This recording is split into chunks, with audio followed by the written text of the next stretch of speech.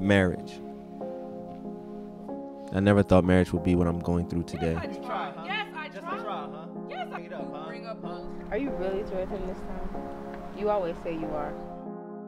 So we got problems now? Yes, we have problems. Is this apartment 76?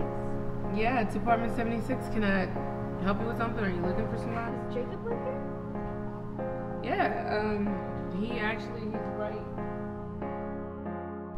What time are you getting home? I'm gonna be home a little late. What time you think you gonna get here? I don't know, maybe like 9, 9.30. I guess I'll see you when you get here. Okay, well, yeah, see you later. Bye.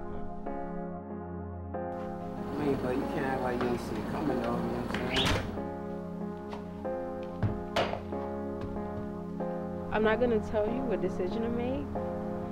I just want to let you know to think of the pros and the cons of your relationship.